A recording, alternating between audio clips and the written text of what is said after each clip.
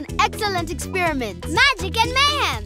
Facts and fun. And today, check out how to do this. Wow! Wow! Over to Stycie and Seth. So Seth, your favorite color is blue, right? Yeah. We're going to be doing something with your favorite color. Really? Yes. We're going to be changing colors. Changing. But you just said it was gonna be blue. It's going to be really blue. Oh, yay. So, let's get started. For this experiment, we need Methylene blue, water, glucose, sodium hydroxide. and some gloves because this is toxic. So first we're going to put the sodium hydroxide inside the water. Remember this is toxic, that's why we have our gloves. Then Now we're gonna put the glucose. All of it. Yeah. Then Yay, blue. Wait, blue. this is blue. your favorite blue. color.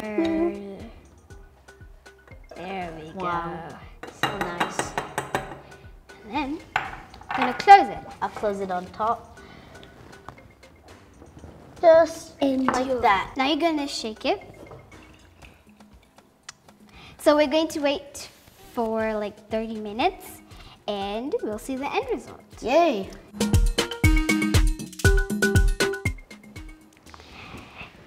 Yes, it worked. This isn't blue. It is. Watch. Shake it. What the? Oh, There we go. wait. Try it. Wait. Now it's colorless. Try it again. It will be blue.